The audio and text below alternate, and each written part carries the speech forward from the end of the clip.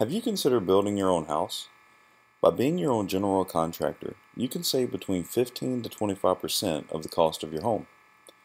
So that means if you're building a $300,000 home, that's up to $75,000. This spreadsheet helps you estimate the cost of building your home and developing a schedule for completion.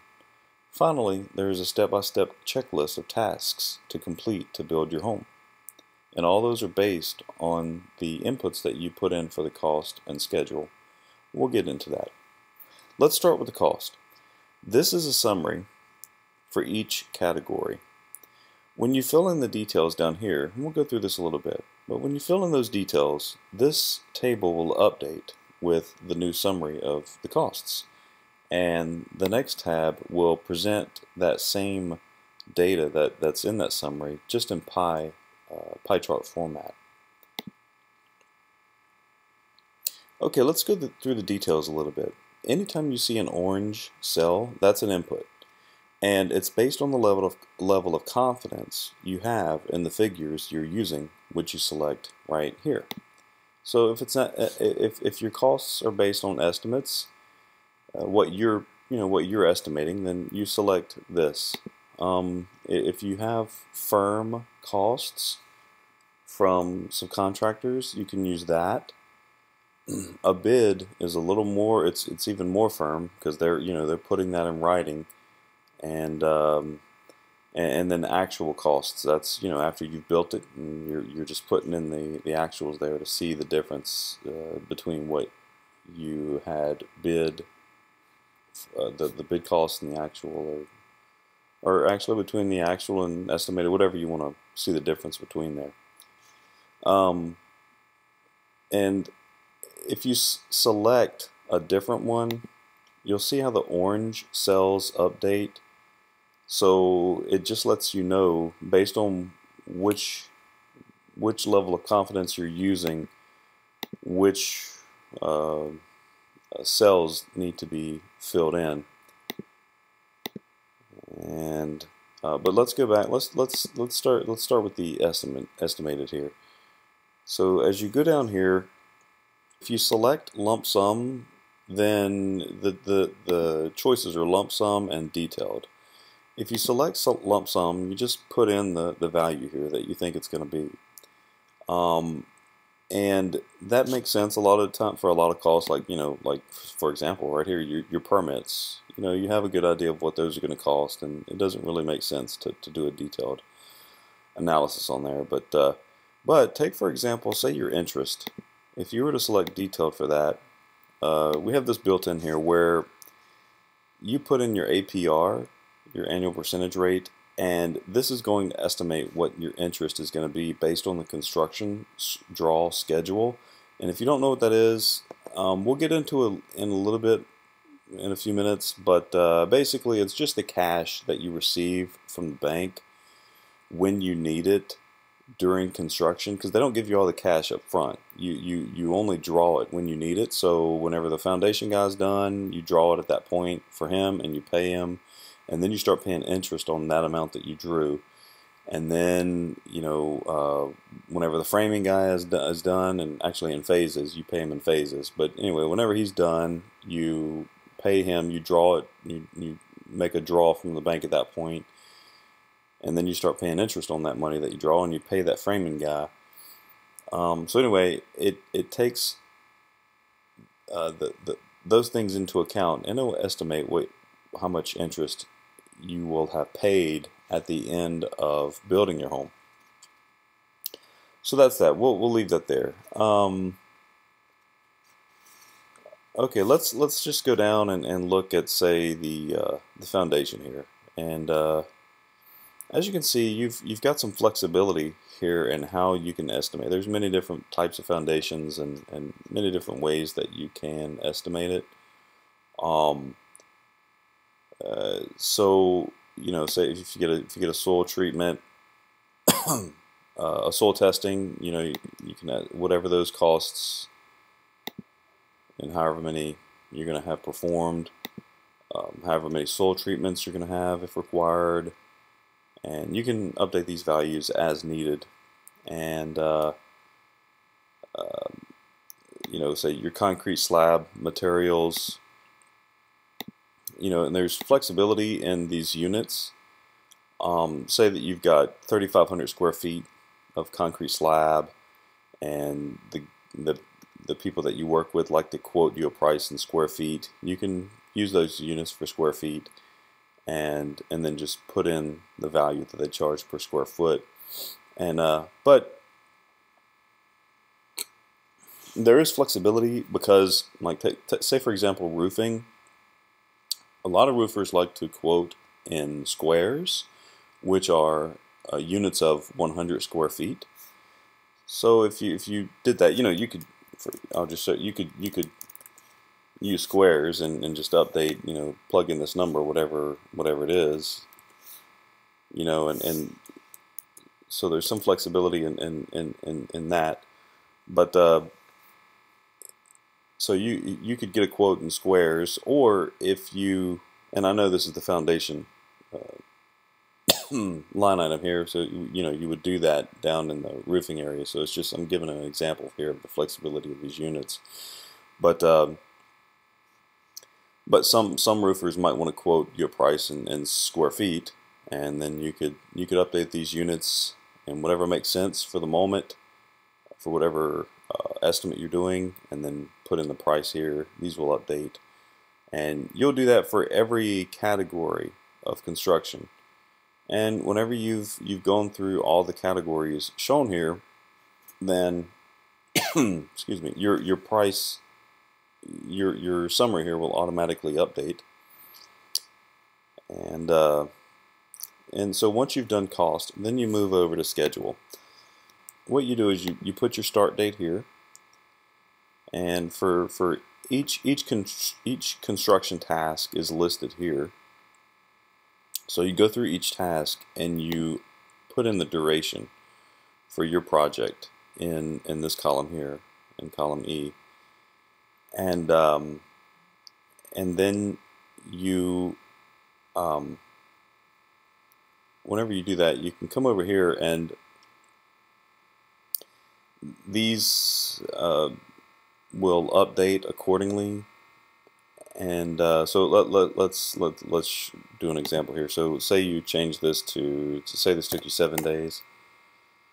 All right, you'll see that this got longer. Did you notice that? Okay, now, but what you have to do is you have to hit this refresh arrows button to get the arrows to update. Okay, so they'll it'll draw the arrows, and basically it's drawing the, the predecessors uh, based on the input that's in this step here. So, um, say, you know, lot costs is depending on the survey. So whenever you come over here to lot costs, you can see that there's an arrow coming from the survey, meaning that uh, it's depending on that to be completed before that starts. So you'll notice that if your survey goes out longer um, or shorter, then your lot cost is, is not going to uh, start until that's complete. So let, let's uh, uh, let's just you know make another example here so you can see how it pushes it out. So you see the survey, and again, whenever you update those num those uh, numbers, you do have to hit the refresh button here for the arrows to update. But uh, you can see how it pushed it out and it pushed all these things out as well. And um, the red arrows, some are red, and that's based on if it's a critical step or not. And anything that's highlighted this blue here is considered a critical step. And um, so, so those are shown in red. And you can update these uh, controlling steps, you know, these these dependents here, if, if you think it's necessary. Um, and then the types, if you're familiar with some project controls uh, terminology, so FS means finish to start, um, SS means start to start, and this FF means finish to finish. So depending on what type of relationship it is, that will determine, um, you know, like for example, if, if you had selected, you know, start to start, then what that would mean is that this activity 9 would not be able to start until the lot cost started. And um, uh, but uh, whenever you have finished to start, that just means that that activity has to finish before this one can start. Um, so uh, then you can put in a lag time if you want to. Negative is a, is a lead time. Um, you can put in other predecessors. Uh, the spreadsheet is, is not going to update based on these other predecessors. It's only going to update based on the controlling predecessor. Um, what I'm calling controlling step, but it's, it's just the predecessor here. So uh, then you can put in notes if you want. Um, I did not make these orange. Um, just thinking that, you know, I allow you to, to change those cells if you need to for your if you think it's necessary for your project but um, but these are the main things to update here are the durations.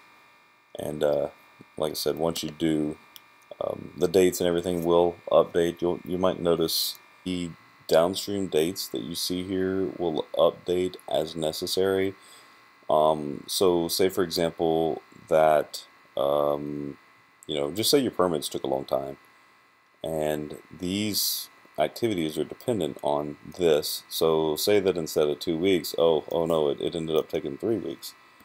So you can see how these dates will then update based on, on, on those inputs and so forth and so on down the line. Everything will update um, as the things that it is depending on are updated.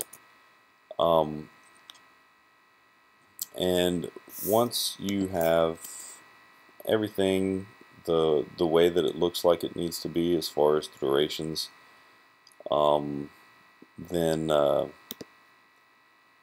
uh, you want to go ahead and hit the uh, the refresh arrows button.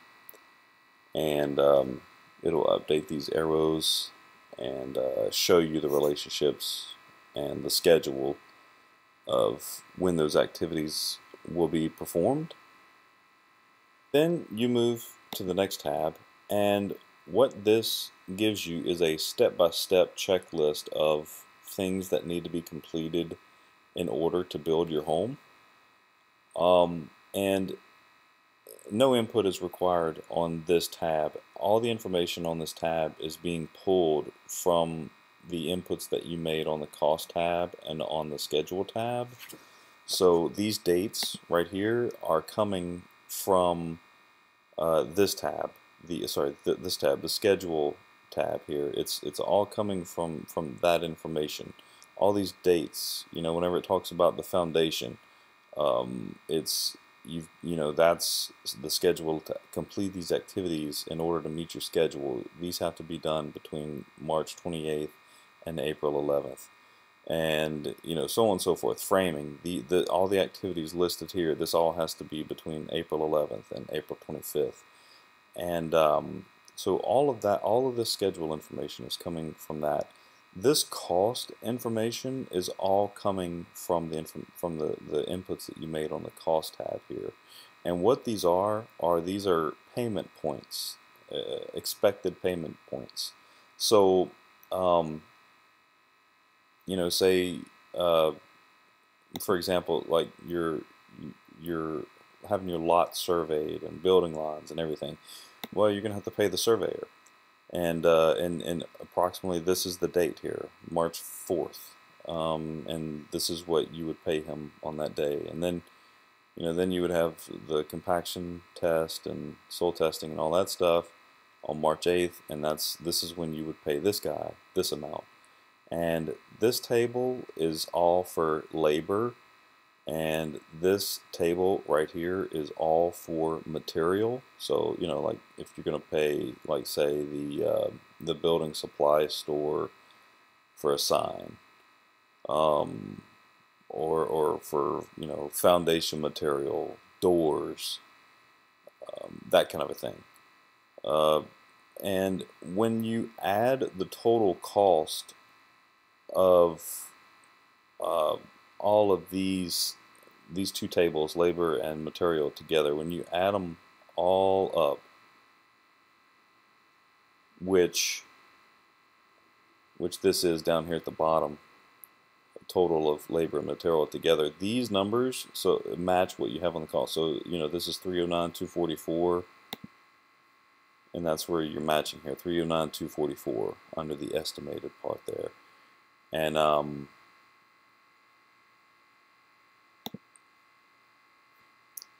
uh, then what you see here is basically the cash draw schedule that you would have from the bank or, or whatever, wherever the money's coming from. Uh, you see here is the labor in blue, um, and this in red is, is the material that's being bought and when, and this is the total. So that's how much you're spending and, and when. And by the way, the, what you saw in the interest earlier, um, this is what it's based on. It's it's it's pulling, you know, these draws and and coming up with an interest based on on this information. Um, uh, some other notes on here. So the blue means that this is where a subcontractor needs to be hired. The purple means this is where you need to buy material. And the light, the light green it means that this is an unofficial uh, inspection. So, you know, you want to go check out and see how the plumbing is going, uh, or, you know, measure plumbing locations, or, or check the foundation, or whatever. It, it's, it's just unofficial things that you want to check make and make sure that uh, your subcontractors are performing work up to par. And the dark green is um, an official uh, uh, inspection by the city, and those do need to. Each of these things, these official inspections, do need need to be confirmed with the jurisdiction that you're in. Um, because those those dues vary slightly. They can vary uh, from jurisdiction to jurisdiction. So, um, Okay, I hope that you enjoyed this video. Please click subscribe to receive more videos. Um, if you'd like to purchase this spreadsheet, please see the comment section.